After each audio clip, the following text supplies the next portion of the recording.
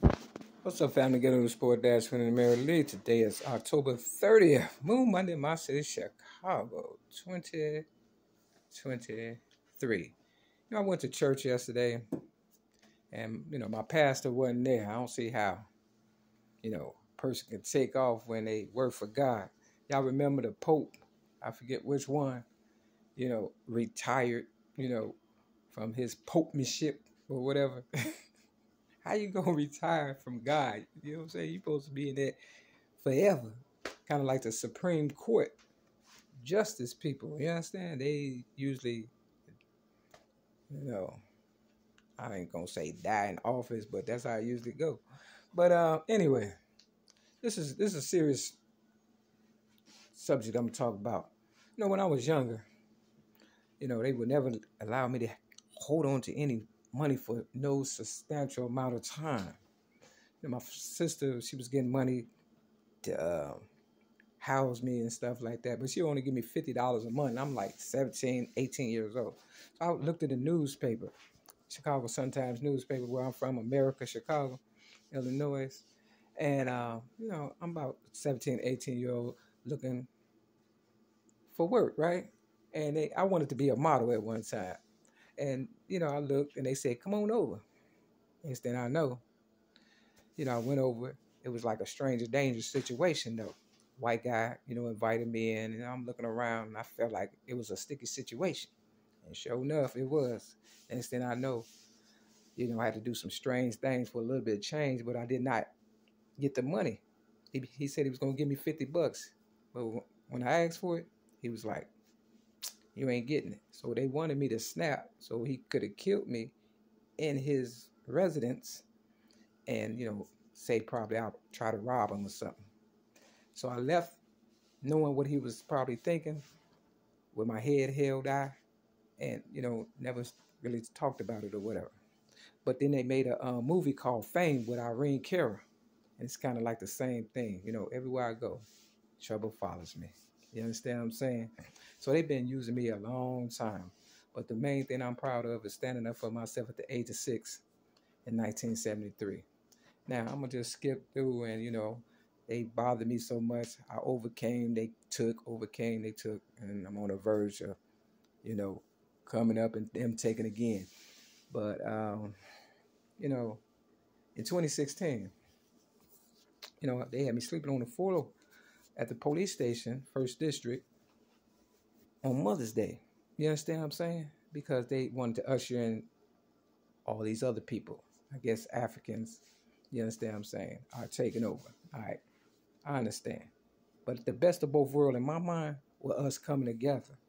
You understand what I'm saying? Not divide and conquer in America. I wouldn't go to your continent, Africa, or whoever, and you know, do you dirty. So I'm not understanding why you're doing me dirty when I had nothing but the best intentions for you and I.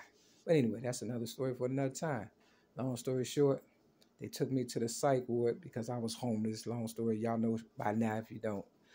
The short version is they took me to a psych ward. I was homeless at the Cook County Jail in my city, Chicago. And, you know, I had 19 years of sobriety and they shot me with some drugs and I believe it was cancer. I don't know. I, to this day, I still don't know because I don't want nobody else to take the blame for what they did to me. So, you know, whatever happens, is on the people who did it. Long story short, I was sleeping or just resting, and I had to cover over my face.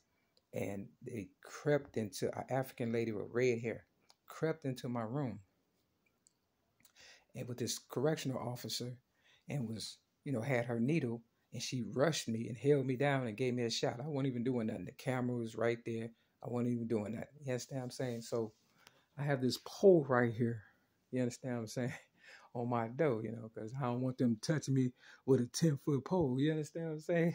I don't, I don't even want them touching me and stuff. Now, I don't have like a good soul for real, for real. People think, you know, because I'm got a good demeanor or whatever and stuff. It's just I work on my anger and I work on the things that I know, you know, would um, hurt somebody else and stuff, you know, out of all the stuff that I've been through, child abuse, you know, drug addiction, abandonment issues, you know, all kind of stuff, right?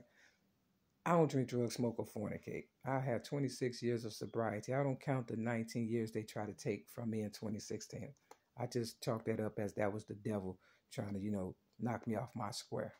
Long story short, it was an African lady. Someone looked like me, but not like me, right? But, you know, we close, right?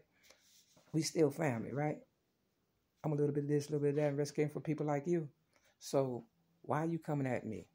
That's all I'm trying to figure out. Why y'all come to America to mess me around when we helped you all? You understand? I'm not understanding. If you can make me understand that, then you know, feel free to kill me. But if you wanted me dead, I'd have been dead by now. We need to come together. If not, time is running out. I got this Bible scripture. Like I said, uh, church yesterday, my pastor didn't show up. But this African lady with red hair showed up. I felt like they was mocking me or whatever because, you know, they took the book of Mary out of the Bible and I proved it. You understand what I'm saying? But, you know, they want to mock me. Okay, cool. But it was still a lady pastor that was pastoring the church yesterday. So either way, I won. Okay. So, uh, yeah, and the uh, scripture was Isaiah chapter 6. So we're going to see what the Africans are really about. This is Second Chronicles chapter 31.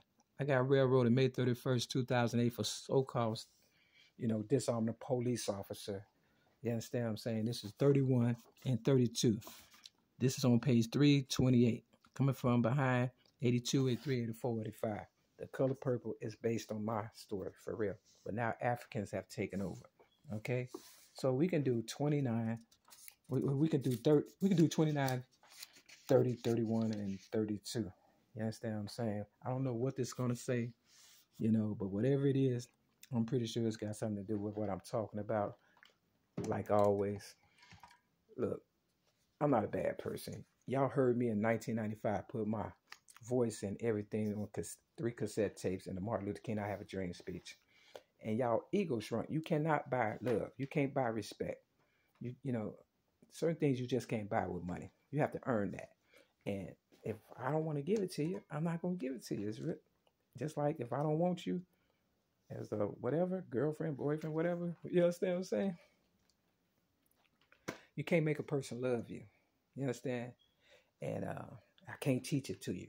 So thinking you can just take my stuff and force yourself, my higher power is real. All right, straight up. So I know it probably don't sound good and it's not professional or whatever and stuff, but y'all already know I won.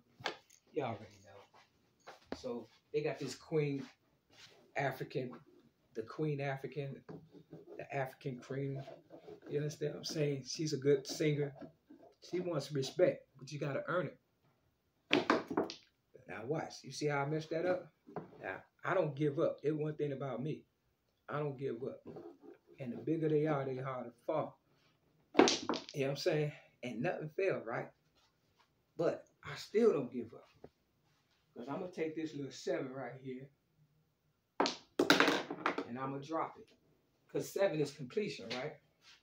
You understand what I'm saying? Now, you can be like, well, you still messed up. No, seven is completion. You know what I mean? I don't got to do nothing else and stuff. I already completed my project. Now, I'll tell you what. We're to go with blind faith like I always do. Because, you know, when you're going up against a giant, it's like David and Goliath. You just got to do you. For real. And this the 10. And this the 13 on my mama. You understand what I'm saying? You just got to do you. Sometimes I I do other stuff, but then you know, you can't you can't beat this.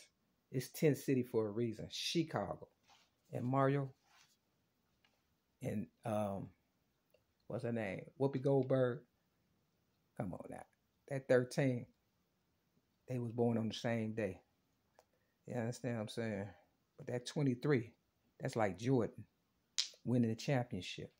You understand what I'm saying? On my mama. All y'all had to do was stand up. I don't have a malicious bone in my body. But the more you poke the bear, the more you're going to find out who really care. And that's my higher power. And with that, you'll get a news report, man. Dash 20 Mary Lee. Good luck to everybody. Peace.